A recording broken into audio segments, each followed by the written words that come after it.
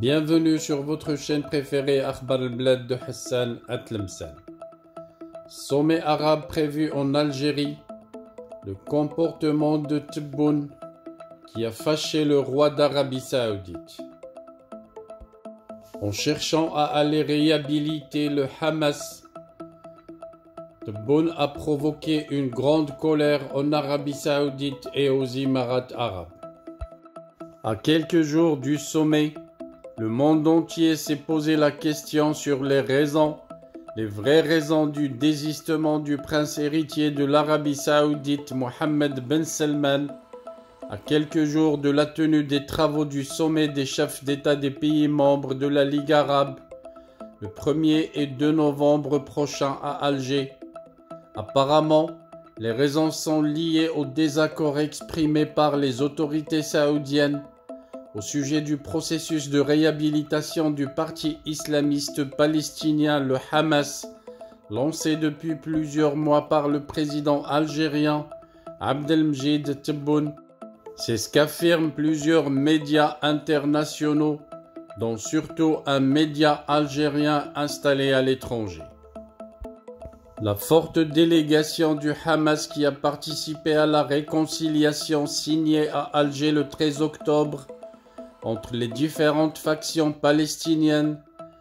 Sous la supervision de l'Algérie a énormément déplu à Riyad et aux dirigeants de plusieurs monarchies du Golfe qui n'apprécient pas du tout le rôle principal des autorités algériennes dans ces efforts de réhabilitation du parti islamiste dirigé par Ismail Haniyeh, considéré comme étant un allié de l'Iran l'ennemi juré de l'Arabie saoudite et de plusieurs pays du Moyen-Orient comme les Émirats arabes unis.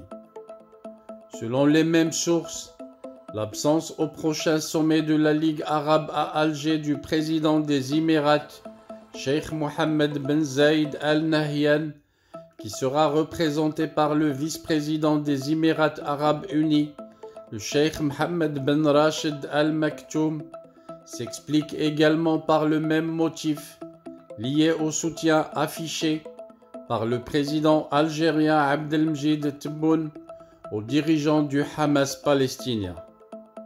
Une position qui a suscité l'hostilité grave de Riyad et d'Abu Dhabi qui entretiennent des relations empoisonnées avec le parti d'Ismail Haniyeh en contact régulier avec l'Iran pour assurer l'armement régulier de ses troupes mobilisées dans les affrontements militaires réguliers qui les opposent aux forces de sécurité israéliennes.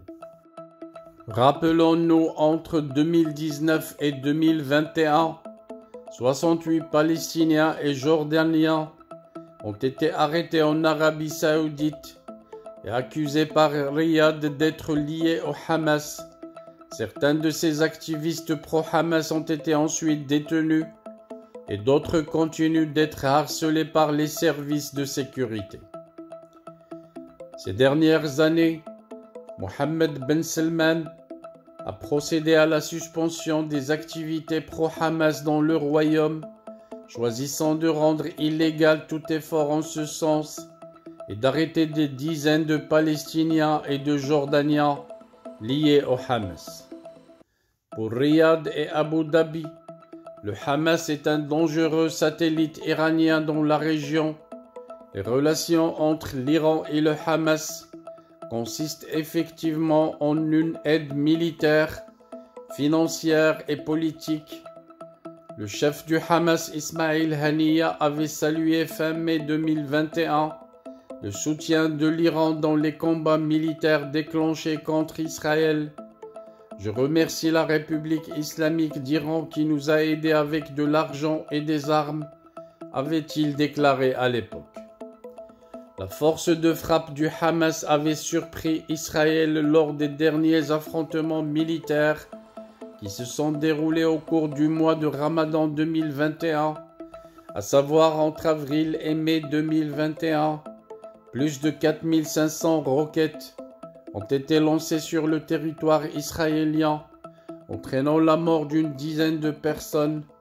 Cette prouesse technique avait montré que non seulement le mouvement islamiste a réussi à constituer et reconstituer son arsenal depuis la dernière guerre de 2014, mais qu'il a aussi amélioré ses capacités militaires grâce notamment à l'aide de l'Iran. La nouvelle force militaire du Hamas inquiète ainsi les pays arabes qui ont normalisé leurs relations avec Israël dans l'objectif de contrecarrer l'influence chiite de l'Iran voisine.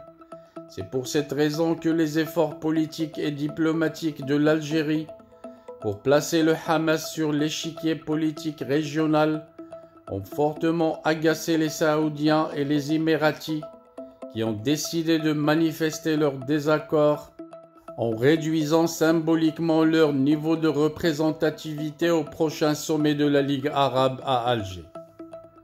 Rappelons que le Hamas avait pris part à l'accord baptisé la Déclaration d'Alger. Cet accord prévoit notamment la tenue d'élections législatives et présidentielles en Palestine d'ici un an.